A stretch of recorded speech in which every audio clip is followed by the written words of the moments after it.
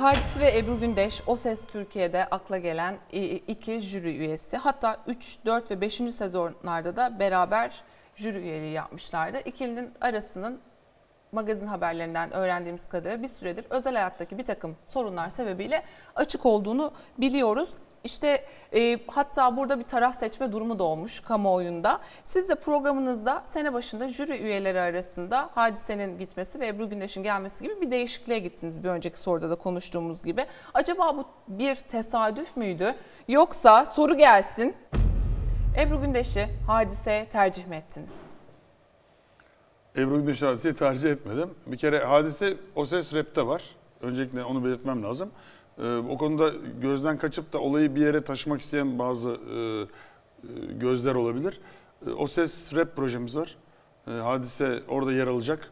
E, şimdi e, aynı ismi iki yerde kullanma şansımız yok. Dikkat ederseniz biz e, o ses rap'e geçen sene başladık. Ve geçen sene de jüri üyemiz hadiseydi.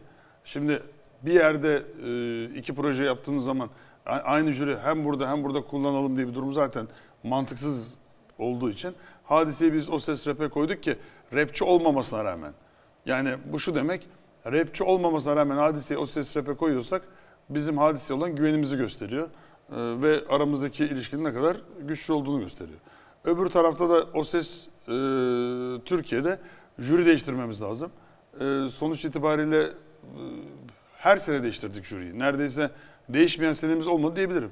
Aynı jüriyle iki sene çok nadir devam ediyoruz.